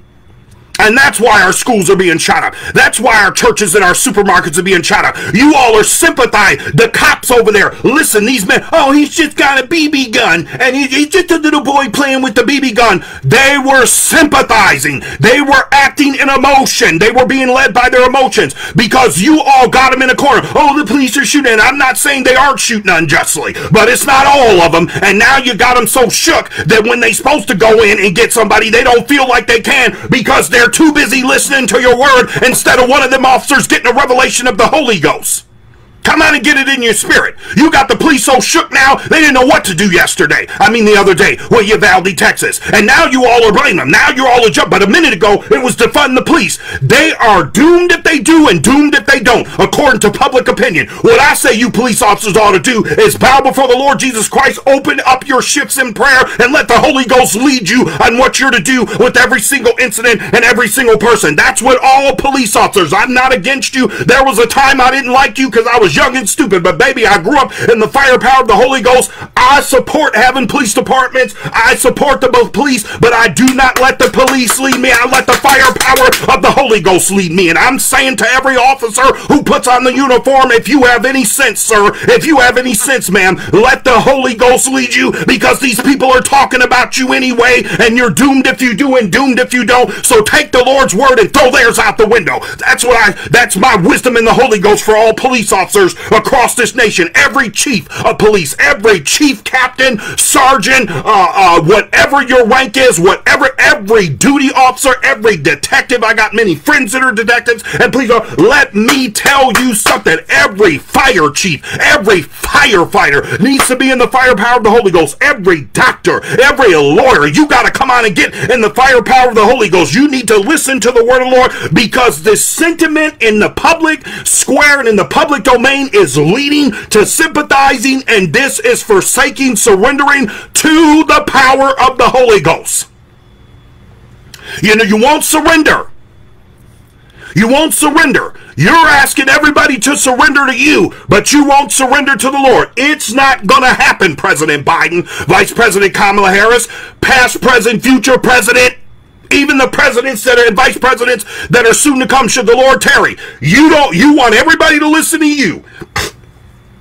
But you don't want to fear and tremble before my Father in heaven. You don't want to respect his word, but you want everybody to respect your word. It's not going to work like that. It's not going to work like that. And these incidents where these people are going and shooting up everything, it is a disrespect to your word. It is a disrespect to the United States of America. It is a disrespect because you all are disrespecting in our leadership here in this country. You won't listen to the Lord Jesus Christ. You write his prophets off. You write his bishops off like myself. You write it. How many of you have watched my broadcast in the White House? Probably none of you but you want the Lord's hand to bless blessing. But your sins and your iniquities are withholding his blessed hand from you because you don't want his heart. And it's going to stay like this. So you don't have to listen to my broadcast. You don't have to listen to me at all. But I'm telling you what's not going to leave here is the plagues that are coming upon this nation. Get it down in your spirit. There's no surrendering. Oh, you acknowledge Many of you acknowledge this is what he's saying to the prophet Ezekiel. Oh, yeah, they say they're with you. They say, oh, you're like a lovely song and one that has a pleasant voice and can play well on an instrument. Their lips are with the prophet, but their heart is not with the Lord of the prophet. Their lips are with the prophet, but their heart is not with the Lord of the prophet. Therefore, they have become deceptive liars like many, like this generation in the United States of America. Our nation has become a nation of deceived liars. And the word truly speaks of our nation when it says they go about deceiving and being deceived because they're all liars. The Lord said, I'm going to send you strong delusion that you would believe a lie. So you'll acknowledge, you'll even like as in Facebook and all the social media. You'll put a like on my post, but you won't go and do what the preacher is telling you to do. You won't hear the Holy Ghost and go do what the Holy Ghost is telling you to do through the preacher. You'll like it. You got good sentiment. You might even sympathize, but you won't surrender. You'll even mimic. You know what? I heard Bishop Cox say another day, but you won't live it. You won't live nothing. Your preachers are, they won't live nothing. They'll acknowledge it They'll like what the Lord is saying. They'll even mimic what the Lord's saying. But when it's time to live it, when it's time to defend life, you're for abortion. When it's time to call homosexuality and lesbianism across the pulpit an abomination before the Lord, you compromise because of your sentiment, because you're sympathizing. Oh, well, you know, the Lord, lo-. no, baby, the Lord might love you. He don't love your homosexual and lesbian lifestyle. He don't love your pro-abortion lifestyle. He don't love your wicked so-called religious leaders. He don't love your wicked political leaders. He doesn't love the wickedness of your political political leaders, of your corporate leaders, and of your church leaders. He may love them. How do you know, Bishop? For God so loved the world that he gave his only begotten Son. Whosoever believeth in him should not perish but have everlasting life. He may love the individual, but he does not love your sinful lifestyle. Religious leaders, political leaders, corporate leaders. Please understand me carefully with clarity. He does not love your sinful and abominable lifestyles in this apostate church, in this apostate government, in the apostate business world. All you secular heads he might love you. He does not love your abominable lifestyles, and your abominable lifestyles are separating your his goodness from you and from your land. I don't care how much you prophesy in your political discourse and in your uh, unbelieving discourse, your secular discourse, your your legal discourse, your corporate and business discourse. You're not going to procure the favor of my Father in heaven no more than Satan is. Come on and get it in your spirit. Turn with me with Romans the 12th chapter. You're not going to procure, procure it until your sympathy and your sympathizing, your sentiment and your sympathizing turns to surrendering. Romans the first chapter and the 12th verse. And many of you know it by heart. I beseech you, therefore, brethren, by the mercies of God, that you present your bodies a living sacrifice, holy and acceptable unto God, which is your reasonable service. And be not conformed to this world, but be ye transformed by the renewing of your mind, that you may prove what is the good, acceptable, and perfect will of the Lord. For I say through the grace given unto to me, to every man that is among you, not to think of himself more highly than he ought to.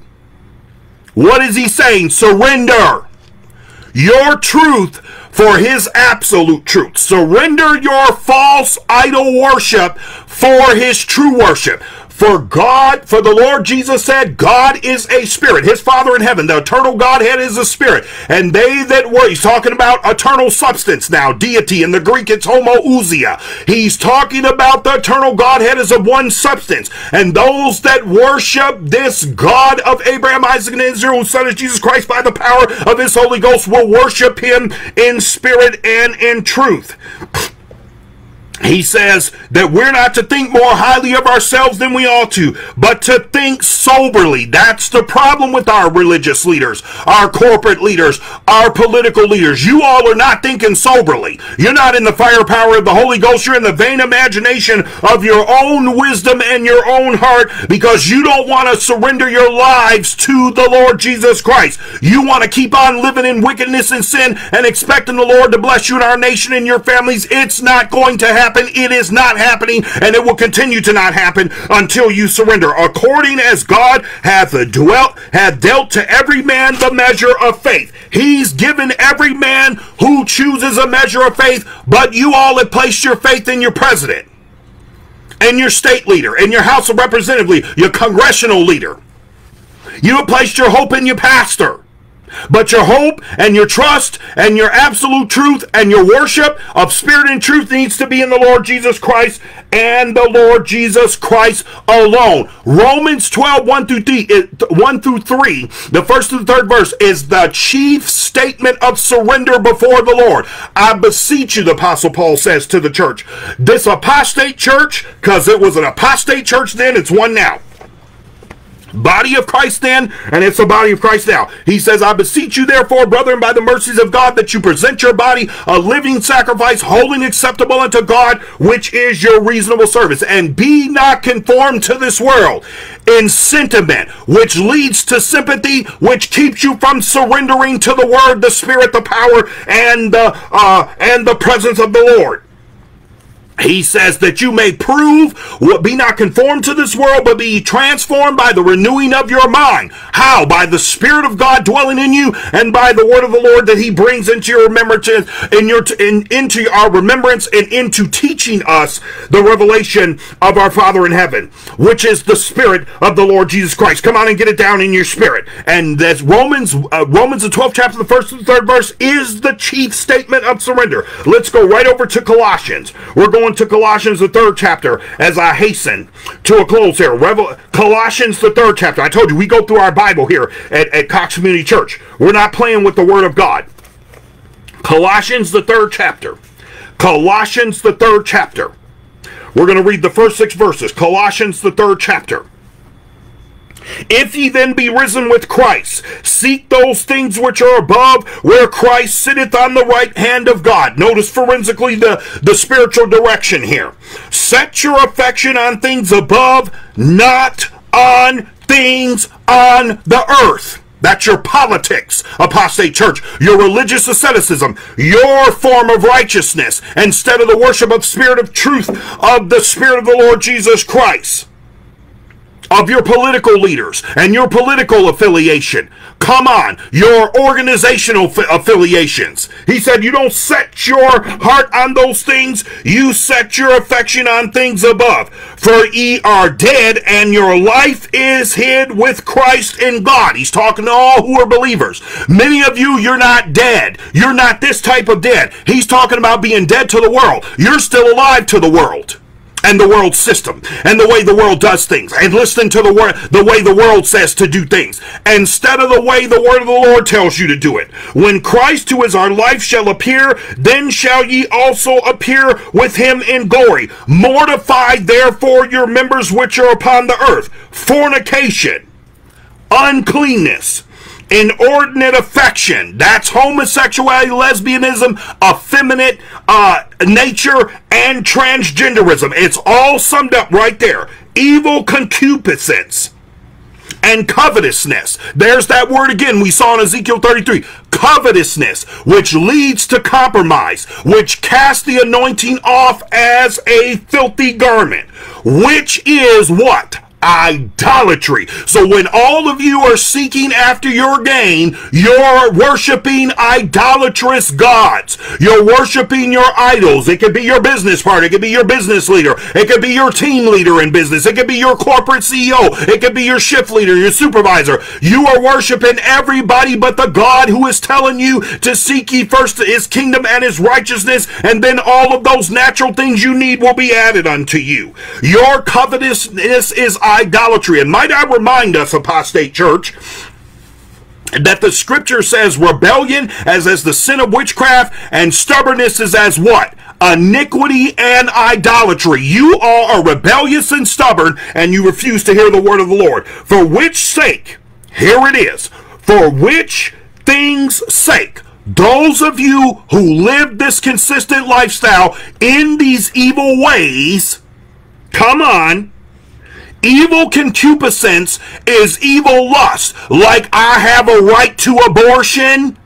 That's evil concupiscence. It's in your Bible, people. You just don't understand it and how to translate. Therefore, you think that he's not talking to you pro-abortionists.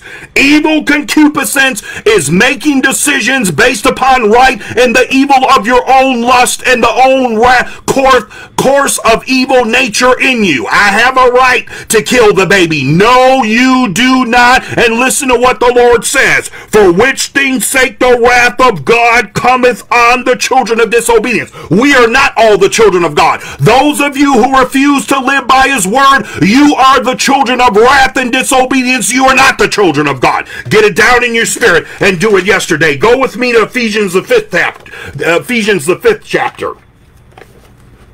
Let's back up a book here and go to two books actually and go to Ephesians. You got to go back towards Philippians, back to Philippians to Ephesians. Ephesians, the fifth chapter, we're going to read the third to the 12th verse as I'm hastening to a close. I hope the Holy Ghost is touching somebody up in here in this war room on this morning besides me. Ephesians, the fifth chapter, we are going to read the third to the 12th verse. But fornication, look how we're starting off already. But fornication and all uncleanness or or covetousness. There it is again. All of you seeking your gain and whatever all you live for is the art of the deal. Come on, President Trump. You are in error. I can't shout it aloud enough. You're in error, but fornication, all uncleanness, that's homosexuality, lesbianism, that is uh, pro abortion, that is uh, thieving, lying, stealing, cheating, backstabbing, gossiping, all of it. All, all, all uncleanness. Not what you say is unclean. But what the Holy Ghost through his body of Christ says unclean. What the Lord says unclean by his word, his presence, his power, and his spirit. That is what is unclean, not what you all determine is unclean.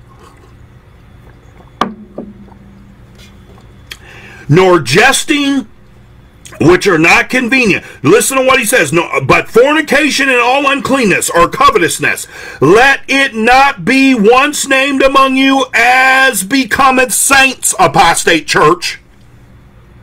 Come on, body of Christ, we need to be reminded here. Neither filthiness, nor foolish talking, nor jesting, that's posturing, that's pump faking, as we called it back in the day, which are not convenient, but rather giving of thanks. For this ye know that no whoremonger, uh oh, warning, warning, warning, no whoremonger. Mm-hmm. He's not just talking about hoes and prostitutes. He's talking about you that are hoeing and prostituting the gift from right from the church. Pastors, false prophets, nor unclean person, nor covetous man. There's that word covetous now. Now he brings it not to the corporate, not only to the corporate level, but the individual level. Nor covetous man who is an, an who is an idolater. So not only not only did the apostle Paul preach this to the church at Colossae, he also preached it to the church at Ephesus. Hello, somebody. Are you seeing the Holy Ghost here on this morning? Who is an idolater hath any inheritance in the kingdom of Christ and of God. You can't get any clearer than this. I don't know what you folks are waiting on. You can't get this language any clearer than it is. You have no inheritance in the kingdom of Christ and of God, the Father. When you live in these manners, let no man deceive you, apostate pastor, shepherds, prophets, all you listening to them. Let no man deceive you with vain words, for because of these things cometh the wrath of God upon the children of disobedience. There's that same identical language of the Apostle Paul to the church at Colossae now showing up to the church at Ephesus. You know why? Because the Holy Ghost has him preaching it to all the church, like I'm preaching it to all this church, both apostate and believing alike. Come on and get it in your spirit. For because of these things cometh the wrath of God upon the children of disobedience. Be not ye therefore partakers with them. Come on and get it in your spirit. For ye were sometimes darkness, but now are ye light in the Lord. Walk as children of light. That's lifestyle. For the fruit of the Spirit is in all goodness and righteousness and truth. That's absolute truth. That's not your version of it. Apostate, unbeliever, backslider proving what is acceptable unto the Lord, and have no fellowship. This is compromise, apostate church, and have no fellowship with the unfruitful works of darkness, but rather reprove them. What does that mean, Bishop? I'm glad you asked. But rather preach against them, like you hear me preaching now. Oh, but your pastor has it. No, they don't, and neither do you, apostate Christian church member. I said it. And I know it's highly, egregiously, and magnanimously inflammatory, and I'm still leaving it out there in your face. Deal with it. Because you're in error and your pastor's in error. But rather reprove them. Your shepherds aren't reproving them, they're compromising with it. They're sympathizing with these lifestyles, compromising with these lifestyles, casting anointing off for filthy gain and covetousness. And as Apostle Peter said, for filthy lucre's sake or filthy money's sake. And as the Lord Jesus said, making money your God rather than his father your God, the, the God of Abraham, Isaac, and Israel.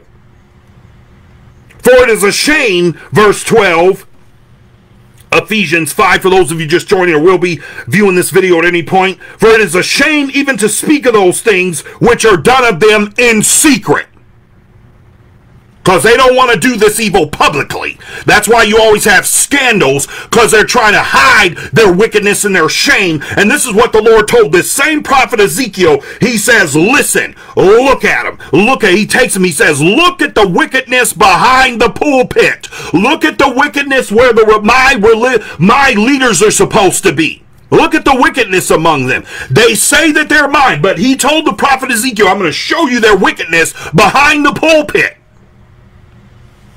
Mm-hmm. What they do in secret, but they appear in publicly, they appear publicly in public to be clean.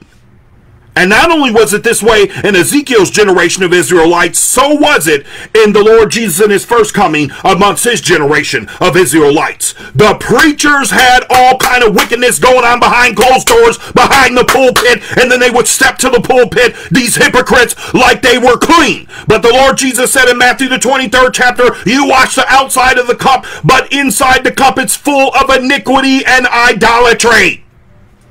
Come on and get it in your spirit. And the final plague that's plaguing this apostate church, that's prevailing in this apostate church, is the plague of disobedience. So we got compromise, which casts off the anointing. We got covetousness that leads to compromise, that casts off the anointing as an old garment. We got sentiment, which leads to sympathy, but does not lead to surrender. And now the third one that we see the Lord speaking to Ezekiel about is disobedience. And disobedience forsakes the covenant relationship between the disobedient and the Lord, who should be of the Lord of their salvation. Disobedience forsakes covenant. It did in Israel and it's doing it in the United States of America. Our disobedience from this White House all the way to our house is leading us to forsake the covenant of the God of Abraham, Isaac, and Israel, whose son is Jesus Christ and we're letting all of these foreign gods and foreign religions and foreign powers are invading our borders. And you're saying we need to keep these people out. Let me tell you something. The way you're going to keep their false you don't need to keep them out. You need to keep their false gods out and the way you're going to do that is by lifting up and making sure that from sea to signing sea, west coast to east coast, north to south, west coast to east coast, north and south, left and right, diagonally, swirling around, circular path, I don't care what you call it. Every inch of the being and spiritual fiber and tapestry of the United States of America has to be completely saturated with the God of Abraham, Isaac, and Israel, whose son is Jesus Christ, if we are going going to receive his blessings of protection and power. and stop being invaded by all these false religions and false gods.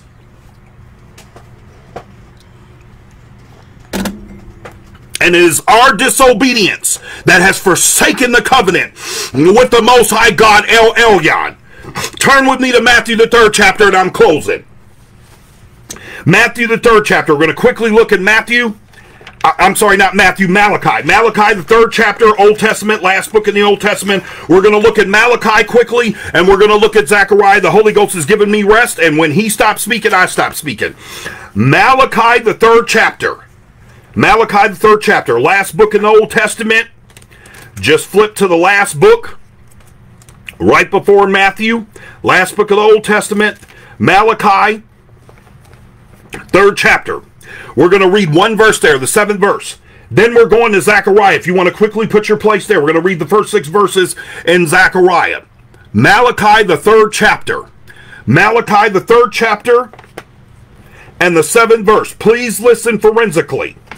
Our disobedience is forsaking the covenant. Listen to what the Lord says through the prophet Malachi. Even from the days of your fathers, ye are gone away from my ordinances. That's the Lord's word by his commandments. You have gone away from them. There's that language of removing yourself. That is backsliding. That is the essential definition of apostasy. Sliding back from the word of the Lord. He said, You are gone away from my ordinances. You are gone away from my ordinance established as laws, commandments, statutes, which are the uh which is the um precepts of my mind. You want to know what I think about anything? Look in my word. But you all have gone away from the my mind. And in the New Testament, we it's called the mind of Christ. You don't want the truth of what our Father, we as Americans don't want the truth of what our Father is saying in heaven. Our disobedience has forsaken the covenant as a nation between us and him. We don't want to hear what he has to say. We don't care what he thinks about anything or what he has to say about anything. That's why we're defending apostate church all of these abominable things. You all are defending it. The body of Christ is not. So let me not say we in that sense. You all are. We're not. We're not defending it, we're reproving it and preaching against it. But you all are sympathizing with it in your sentiment. And you won't surrender. And it has led you to the third plague that is prevailing in your church, which is disobedience that forsakes your covenant with your God.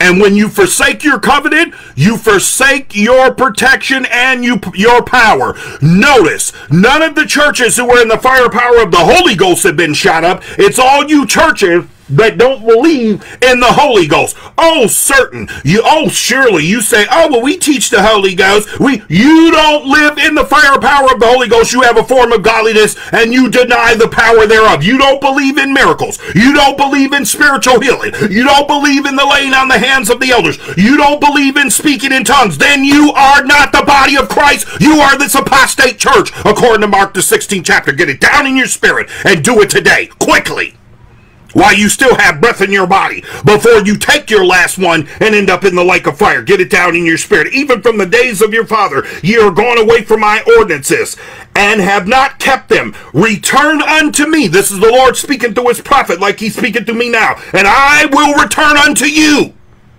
What does deri- what does derivative and syllogistic reasoning tell us here? What does deductive reasoning? If the Lord says, Return unto me, and I'll return unto you, if you don't return unto him, he will not return unto you. Why? Because you have not chosen for him to return unto you. It's not his fault, it's yours, unbeliever, apostate, backslider. I will return unto you, saith the Lord of hosts. But ye said, Wherein shall we return? You sick apostate church that don't think you need a physician. You don't think you need to return because you think you're in the firepower of the Holy Ghost. Wrong, wrong, wrong, wrong, wrong. I call it the Samson principle. You don't know that the Spirit of the Lord is not with you. The blessing of the Lord is not with you. You can get money on your own. Satan can bless you to be wealthy. Bishop, I don't believe that. He told the Lord Jesus, he said, Listen, if you bow and worship me, I'll give you all the kingdoms of this world. Satan can give you wealth. Apostate church, stop blaming it on my Father in heaven. He's not blessing you, Satan is. I said it. Some of you, your preacher's blessing you because he sold out to the devil. Satan is blessing him, so he shares a little bit with you, and he's got you thinking it's the Lord doing it. It ain't the Lord blessing you. It's your pastor, your satanic pastor. I said it, and I know you don't like it, and I don't care. Zechariah, the first chapter. In the eighth month, first verse, in the eighth month, in the second year of Darius came the word of the Lord unto Zechariah the son of Berechiah the son of Iddo the prophet, saying, The Lord hath been sore displeased with your fathers. Mm-hmm. All of you in America, he's been sore displeased with your forefathers. Therefore say unto them, prophet, Thus saith the Lord of hosts, the Lord of heaven's armies, Turn ye unto me, saith the Lord of hosts, and I will turn unto you. What syllogistic reasoning say again? If you don't turn unto me, I won't turn unto you in protection and in power and in sealing of my Holy Ghost. My covenant. You don't turn to the covenant, I won't turn to it. I'll be waiting on you to turn to it, and then I'll begin to bless you. And I'm not going to bless you, America, until you return to me. You want revival, you got to repent and to return. There's your word on this Sunday, Apostate Church, United States of America, its corporate, political, and all of its leaders in your various fields. Return unto the Lord, and he'll return unto you. You want your schools to stop being shot up? You want your neighborhoods to stop being shot up? You want your capitals to stop being rioted and overtaken? You want all of the strangers with their idolatrous gods to stop coming in the land? Return unto the God of Abraham, Abraham, the God of Abraham, Isaac, and Israel, whose son is Jesus Christ, and it's not going to stop until you do return. Your choice and your choice only. Therefore say unto them, Thus saith the Lord of hosts, verse 3, Zechariah the first chapter, Turn ye unto me, saith the Lord of hosts, and I will turn unto you, saith the Lord of hosts. Be ye not as your fathers, unto whom the former prophets have cried. Believers, cry loud and spare not. Believers, cry loud and spare not. Believers, don't be intimidated, be bold. Ask the Holy Ghost for boldness as the apostles did in the book of Acts saying, Thus saith the Lord of hosts, turn ye now from your evil ways and from your evil doings. That's how I know the church is apostate. The majority of it. You don't preach like that, you false shepherds. You're not telling people to turn from their evil ways because you're too busy worried about their money. Turn from turn ye now from your evil ways and from your evil doings. But they did not hear nor hearken unto me, saith the Lord. Your fathers, where are they? Question mark. And the prophets, do they live forever? But my words, this is the Lord speaking by the firepower of the Holy Ghost through the prophet Zechariah and also through this six foot two high yellow prophet from Detroit, Michigan, here in Dallas, Texas. But my words and my statutes, which I commanded my servants, the prophets, did they not take hold of your fathers? And they returned and said, Like as the Lord of hosts thought to do unto us according to our ways and according to our doings, so he hath dealt with us. In other words, we are receiving the wrath of the Lord because of our own evil and the evil of our doings and the evil of our ways. And United States of America, apostate church, backslider, apostate, unbeliever, so called Christian, so are you receiving the wrath of the Lord because of your evil ways and your evil doings. Repent, stop it right now, and come into the Lord Jesus and in the firepower of his precious Holy Ghost. Listen, Cox Community Church of Dallas, Texas, all our friends and families watching all across the world, all of you that will view this video, listen, I love you because I preach the unadulterated word of the Lord to you, non watered down, non filtered, straight with no chaser.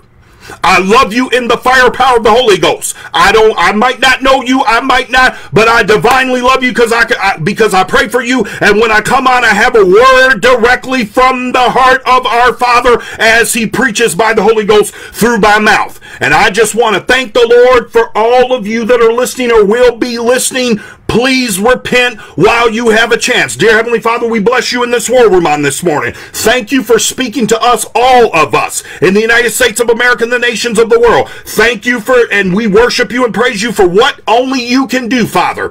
King Jesus, we love you for dying on the cross for us. Every sinner, every backslider, there is no dirtiness that we have gotten ourselves in as humanity that you cannot cleanse us and watch us if we desire to be cleansed and washed. I pray every backslider backslider, apostate, and unbeliever, Lord, who will hear this word will be touched by the fire power of your Holy Ghost. Every apostate will come into the kingdom of the Lord. Every backslider will return from the ways that they have gone away and strayed in. All the prodigals will return, and every unbeliever will come out of this darkness and into the marvelous light wherein we stand as your body strong, championing, reproving all works of darkness, preaching your gospel until the ends of the earth, until Lord Jesus, you shall call us home, or we shall return unto, or you shall return unto this earth, that all who have crucified you will look upon you and mourn. Holy Ghost, have your way in your saints the rest of this day. I'm talking about your true saints, those of us who are indwelt by your spirit. Have your way in us. And Father, if there's anybody that needs you on the remainder of this day that may have not heard the message, put them in our path or us in their paths, and we'll be careful to give them your word. Father, we thank you. We sanctify you in our hearts. We're ready to give to every man an answer of the reason of the hope that is in us with meekness and fear